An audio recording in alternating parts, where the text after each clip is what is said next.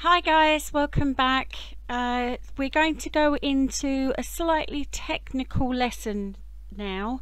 I'm going to show you how to turn this image into a sepia toned image to give it a vintage look and also to add a texture to it so it kind of looks old. So what you're going to need is you're going to need an image, you are going to need a uh, texture and I've used a dark texture with white lines on it. I'll just show you that one. Okay I think this works best if you've got a light image as I have. Um, so these are free around the internet. If you look for free PSE textures free Photoshop textures. If you're a member of Graphics Fairy you will be able to get some there. Um, so the first thing you need to do is place your image on our standard size background and then from there what we're going to do is create a new layer up here. And on this layer we're going to create a solid color. Oh excuse me please. So we're going to click solid color. And then we're going to find um, a sepia tone. Um, let me just get one. I jotted one down so that I could give you a rough idea. So if you try in this uh, hex code box here. It's called hexadecimal color I've discovered. So that's why it's called hex code. But we're going to pick a hexadecimal color that's in a sepia tone. And for this one I'm going to have 4A my caps are locked hang on 4A uh, 2A 08 there we go and we've got a nice sepia color and I'm going to click OK on that one. Once I've done that um, I'm going to change the uh, blending mode for this layer and it's above my picture layer and I'm going to change it to screen. And straight away you can see I have a lovely sepia image. If that's a bit too brown for you you can come up and change the opacity to make it a bit lighter but I'm quite happy with that. I like that color I think whoops let's just make sure I don't have that too big. I quite like that color I think it gives it a nice vintage tone. And the next step is to add a texture layer. So I'm just going to plop that onto my canvas. And you'll see that it's appeared at the top there. That's exactly where I want it.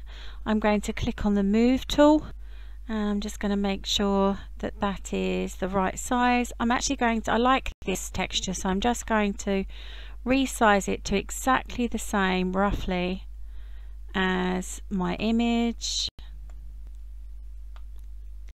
Bring it down. Lovely. Click OK and just making sure right yeah I'm happy with that. And then I'm going to come up to the texture and once again I'm going to put a screen blending mode on top there. And you should be able to see if I just get a bit closer. Whoops not that close. That I now have all of these kind of creased lines on my image giving it that kind of old look. I'm just going to come down and show you again. You can see here if I took that off and put that back to normal oops there you go. And we go back onto screen and you can see now it's added that to the image. If it's too much for you again change the opacity and it will just lighten that slightly and make it not so pronounced okay? I'm just going to bring mine up a little. That's brilliant. And um, I'm just going to zoom out again so you can see what I'm doing and so I'm quite happy with that as it is and I'm just going to come up to image and I'm going to crop it Oops. It's just giving me a minute. It's just changing everything for me. Which is fine. I wanted it merged. I've just pressed the wrong button.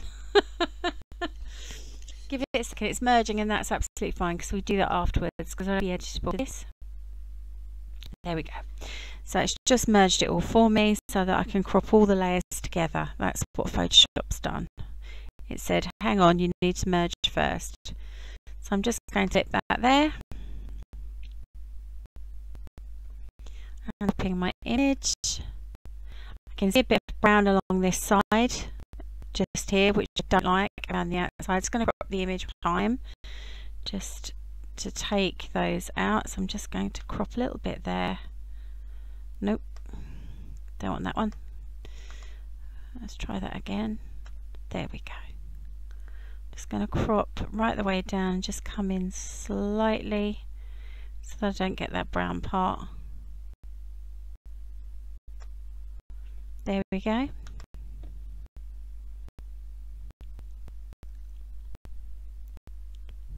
more than happy with that. So you can see I've now created a sepia toned kind of creased look to the image giving it that beautiful vintage look. And just be aware of your order in the layers make sure you've got your texture at the top then your color fill then your image okay?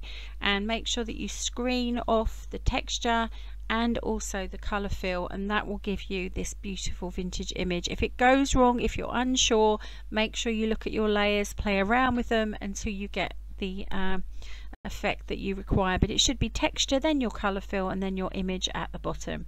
Remember with the blending modes you are always affecting the two layers so the layer you've got highlighted and the one below okay?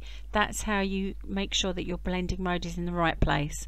So as you can see here my color fill is affecting my dragon. My texture is affecting my color fill.